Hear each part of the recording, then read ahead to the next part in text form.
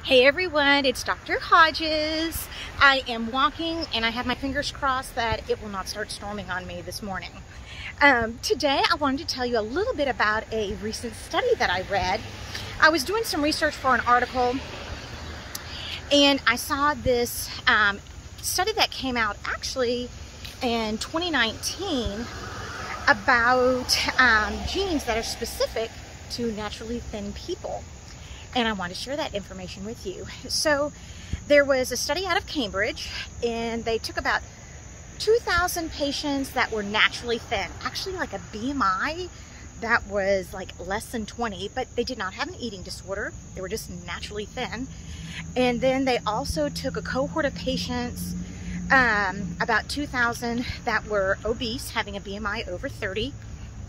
And then their control was actually 10,000 normal um, normal weight patients and they looked at their genetic variability. There are a number of genes right now that have already been associated and found with weight and particularly with obesity, but this was the first time that they were specifically looking at are there places on our genes, on our chromosomes, that could impart skinniness or thinness naturally.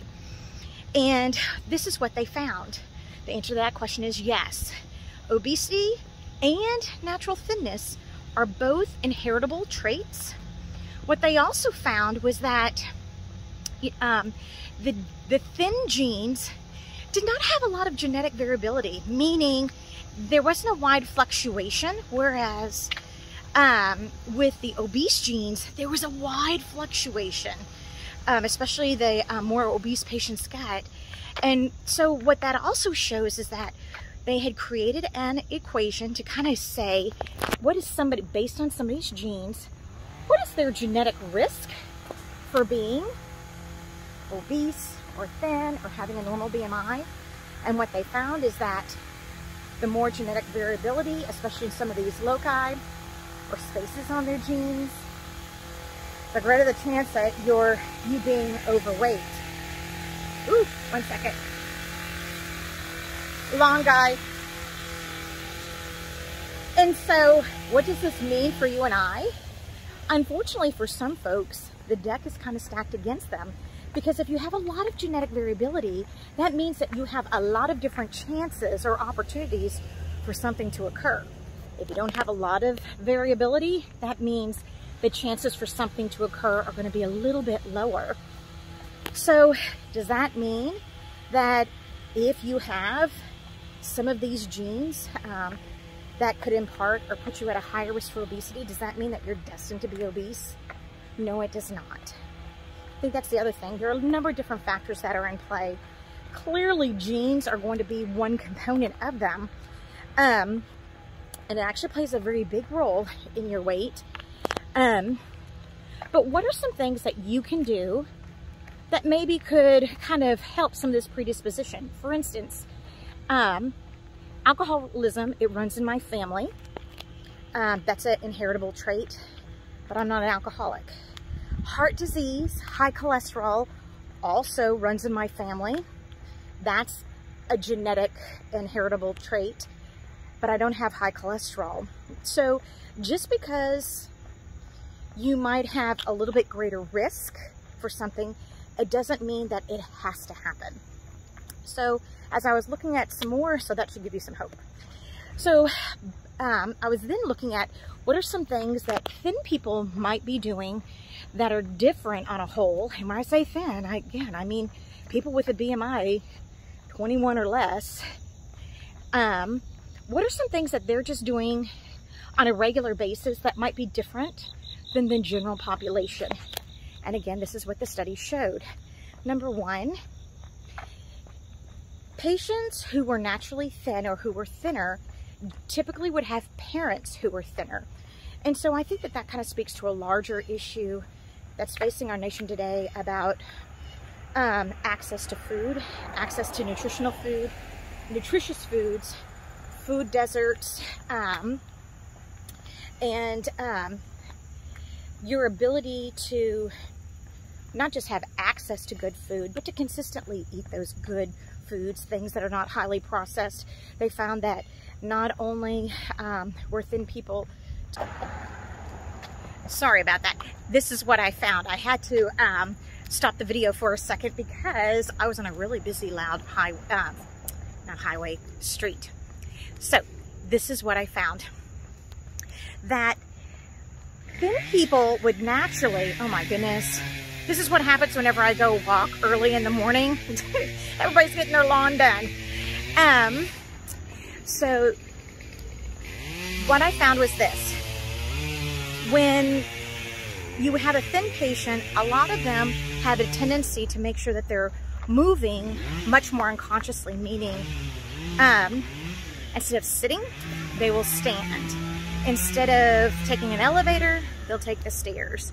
There's also, oftentimes, they're a bit more fidgety. Um, and so all of these different little movements can add up over the long term. So for instance, whenever I was um, in that surgery moratorium last year and I wasn't able to operate, I was doing my telemedicine from my bedroom actually. And I found that on any given day, I would barely get in 600 steps. Whereas in a typical day, I might get in several thousand before I even would go for my, my walk and my exercise. And so that was very telling to me and very eye-opening because it really showed to me the importance of all these little movements that we do every day that, that we take for granted.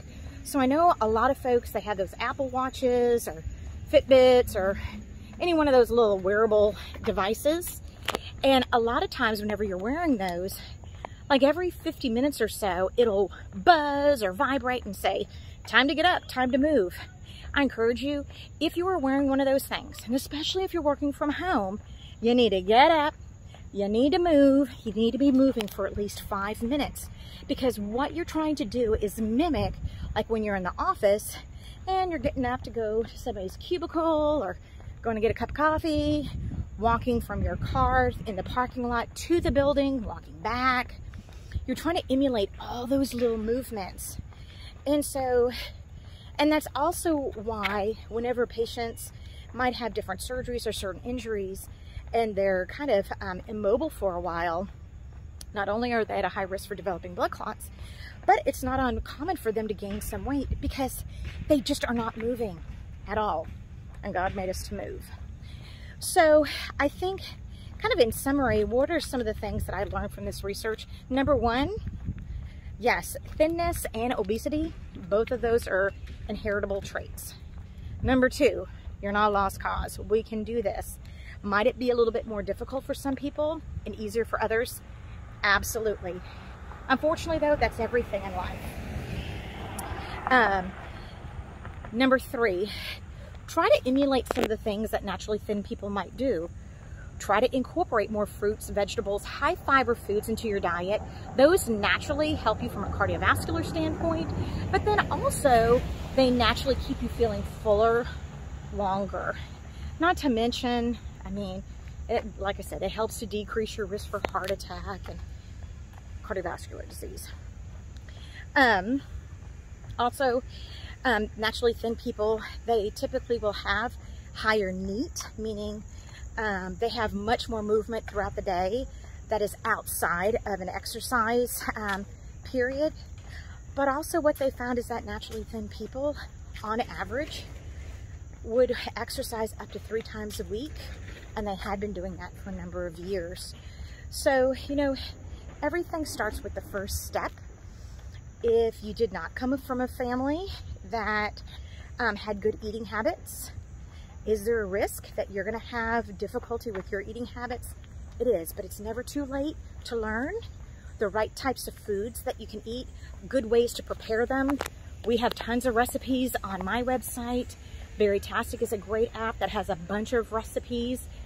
I don't want you to think that you're relegated to kale and quinoa. Although you can prepare those in different ways and they taste pretty good. Um, and so I just encourage you guys, um, take the first step in your health.